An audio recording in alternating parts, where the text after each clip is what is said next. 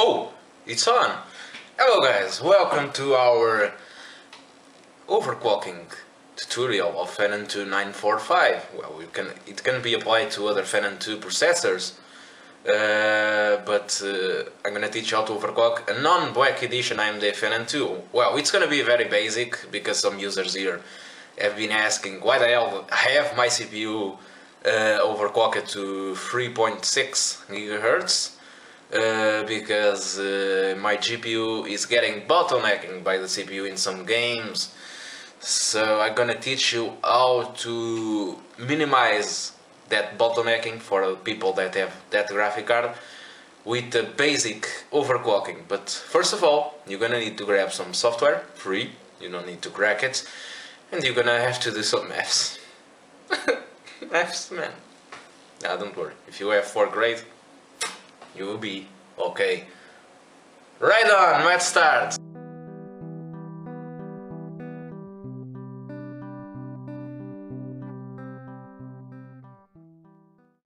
Now that the 10 seconds intro have passed, you're gonna need to grab some software.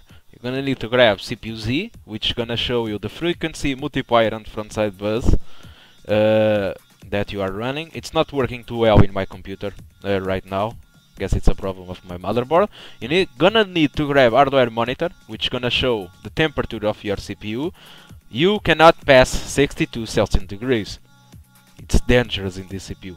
You need to grab Prime 95. Be careful with the architecture, because 64 bits or 32 bits, it's gonna take your CPU to the limit and see if it's stable or not. And you need to grab hardware uh, oops, FurMark, which is a GPU stress test. Strange, right? Now, this is the CPU-Z. As you can see, the frontside bus it's not showing, and uh, the frequency is kind of strange in there. But the frontside bus, it's uh, 200 in all CPUs of Phenom 2. So if it's 200, if you have a multiplied CPU, you can just raise your multiplier which is in, in 945 it's uh, 15 and if you want to overclock to for example uh, 3.4 you just needed to raise the multiplier. But since 945 is not um, unlocked CPU you need to raise the frontside bus to uh, 226 as you can see that's the way you reach it. And now I'm gonna show you how I run my mine at 3.6. I need to put the frontside bus at, as you can see, 240. So what's the difference between raising the multiplier or raising the frontside bus? The difference is when you raise your frontside bus, you are raising your memory clock too. What is that, a memory clock?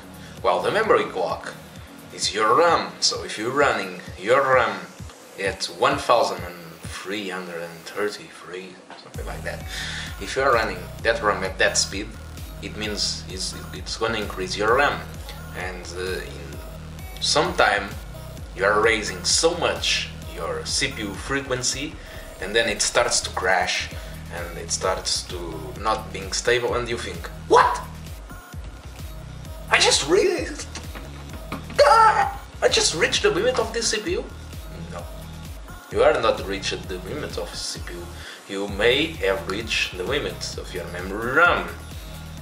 So, what's the solution? So, I'm gonna try to explain how to raise your frontside bus in BIOS and explain how RAM works. So, let's go take a look, right? So to enter on BIOS you need to restart the PC and on the start you need to press a key. In my case is Del for you maybe F2 or F3, F4, it's uh, there.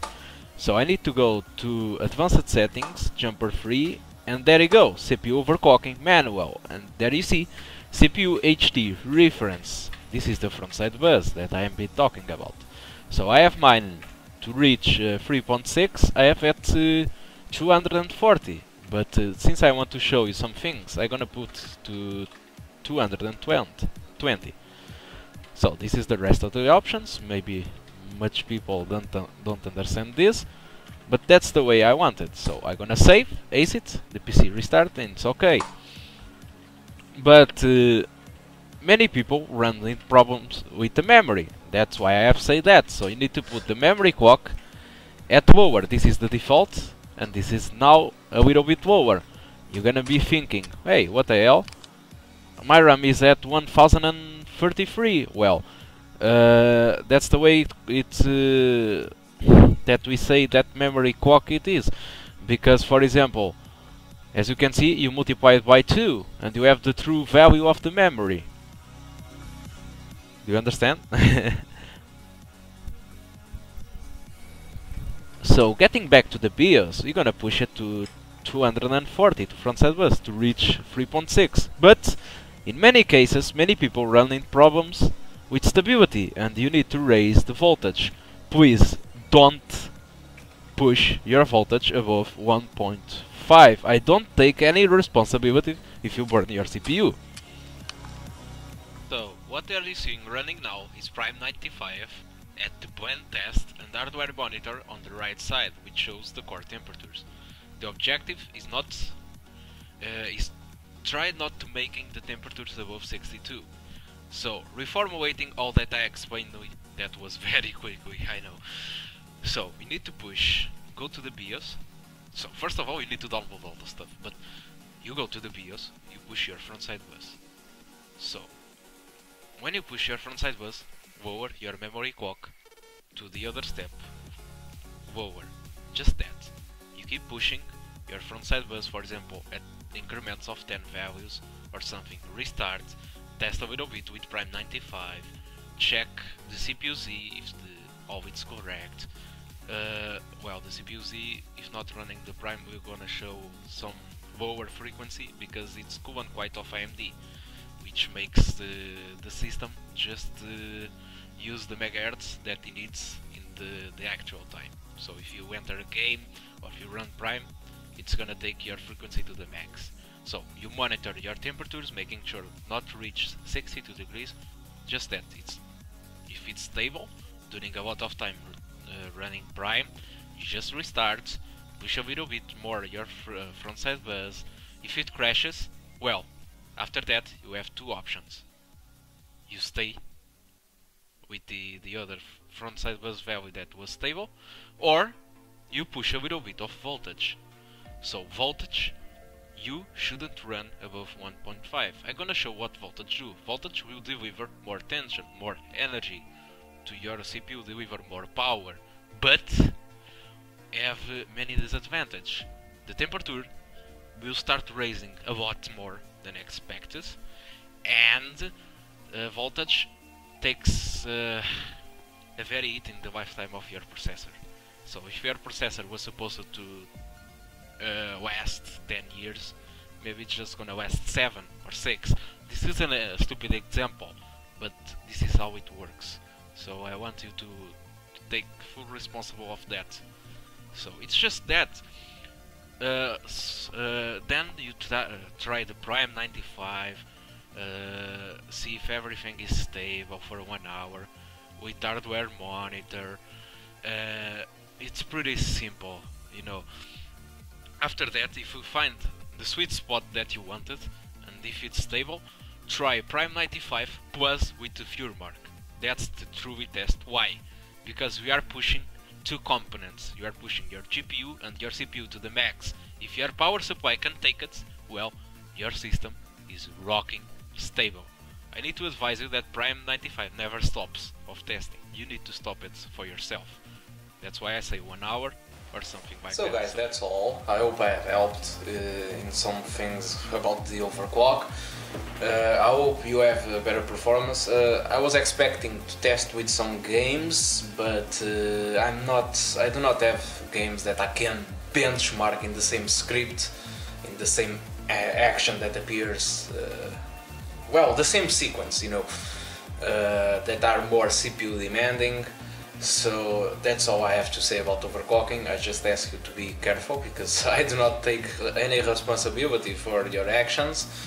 Uh, but you, if you follow what I have said in the videos and I keep repeating all the the things that can be dangerous, the temperature, the voltage, well, you, you will be okay.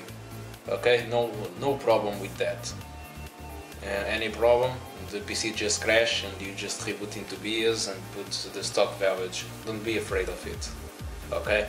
So other things I want to to tell you is that even after all that I said, there are some major things that uh, can limit your overclock. One of them, power supply. So your power supply is very important, and uh, if you have uh, uh, a low quality brands like uh, an Halfman, something like that, well, the power supplies that usually cost 20 euros, 25 euros, 30 bucks, and and says that are rated to 700 wattage. Well, that is just uh, about PSU. Sorry guys, but that is true. It is rated to 700 wattage. You put 200 wattage in it and pff, your PC starts to crash and have problems with stability. A storm hits your place and burns all most your equipment. Well, your power supply burns your rest of the components too. It's like a bomb. And if you have a quality power supply, you will be okay. You will be okay because uh, uh, I'm not sure if you, many users here haven't noticed.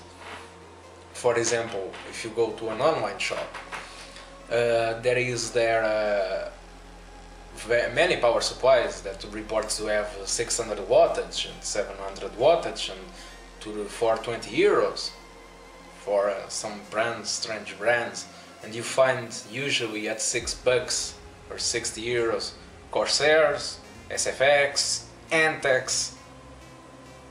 You always know in the, uh, that's power supplies reports to have something like 450. What do you think about that? You think, oh, I'm just paying for the brand? Well, it's not that power supplies can achieve even more than they are rated there. And the others, at 20 euros, can even half achieve. Don't have any protection. What I'm trying to say here, I'm not trying to sell power supplies of quality. I'm just saying, if you have a problem with overclock after all that I told you, crashes and not uh, achieving a good overclocking, your power, your power, your problem may be your power supply, and uh, even worse, you have an AMD CPU. I have an AMD CPU, and we both should know that AMD is quite of hungry in power. For example, my CPU, it's 95 watts rated on stock. After this overclock to 3.6 with voltage at 1.45 it's the double so power supply have to be enough for it okay? It's just to, to make sense if you are uh, uh, if your head is blowing trying to know what's happening if you are doing everything right. Well you are. Maybe the equipment don't. So guys any doubt that you have anything that you want to know, if you want to post the results, what can you achieve, what di you didn't achieve, performance boosts that you noticed, that you don't noticed, well, post anything in the comment section below, uh, not this guy, uh, below the, the, details of the YouTube. Well, it's just that, okay?